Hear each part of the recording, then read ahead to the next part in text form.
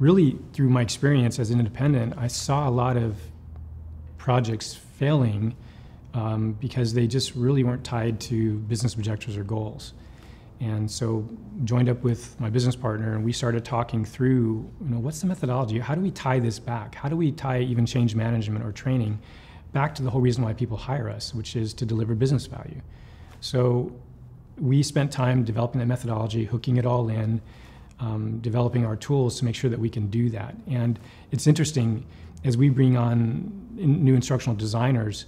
Um, when we talk about the concept of about training to deliver performances that people can do, you know, that they can actually do the job. Um, generally, everybody says that's the best thing. Um, I, that's what I believe in. But when you actually get down into the nitty gritty to actually do that and train them, it's hard.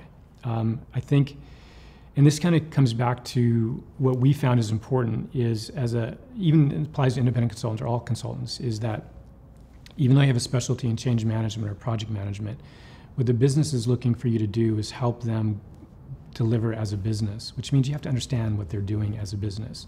So not only training up your skills in change management or training, um, you also need to look at how does marketing work, how does sales work, how does operations work.